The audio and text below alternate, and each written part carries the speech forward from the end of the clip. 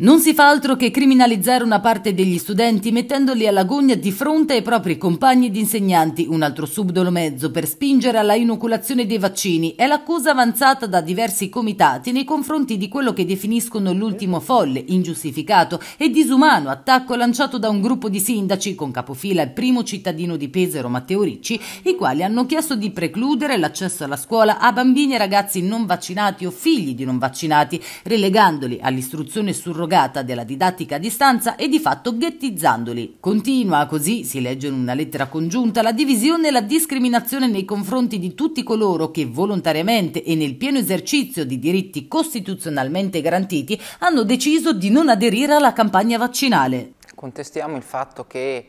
questa proposta di estensione del Green Pass agli studenti anche delle scuole dell'obbligo e delle scuole superiori sia totalmente discriminatorio per eh, questi poveri ragazzi che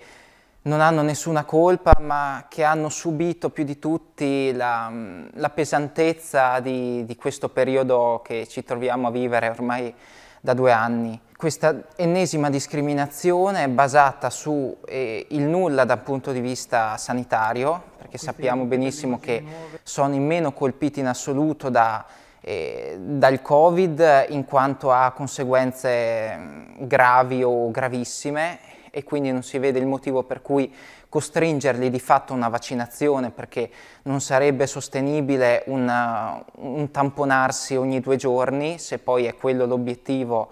eh, oppure eh, già direttamente il Super Green Pass, questo non, non, si è capito, ma comunque si sa che il, il, fine è la vaccinazione. Nella lettera voi citate anche una libertà di scelta, nonché cioè, gli articoli della Costituzione. La Costituzione, l'articolo 34, eh, inerente alla scuola, che è un diritto fondamentale di tutti i bambini, di tutti i cittadini, e l'articolo 3,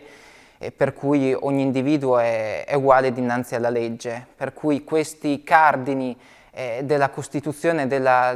legislazione italiana non possono venir meno per folli, a mio parere, mm, richieste di uno o più sindaci. È tragicamente disarmante, hanno spiegato i gruppi e i comitati, osservare la semplicità con cui esponenti politici del territorio si accaniscano contro le fasce più deboli, che di contro andrebbero maggiormente tutelate. Ci troviamo di fronte all'ennesima sparata di una politica incapace di gestire un'emergenza e che non trova miglior soluzione che far pagare ai nostri figli la propria inettitudine. La cittadinanza, hanno proseguito nella lettera, non ha riscontrato alcun miglioramento miglioramento in un trasporto pubblico che andrebbe implementato a prescindere dalla pandemia, nulla è stato fatto per abolire le classi pollaio nonostante gli innumerevoli appelli ricevuti. Interrogatevi, cari sindaci, sull'incapacità delle ASL di fronteggiare la richiesta di tamponi, sui protocolli di quarantena non rispettati e continuamente modificati e arriverete, speriamo, a comprendere che il Green Pass non sarà la panacea di ogni male e che dovrete voi impegnarvi in prima persona per risolvere l'attuale situazione con interventi strutturali mirati. La scuola, hanno concluso, è per tutti e di tutti. Questi principi valgono molto di più di richieste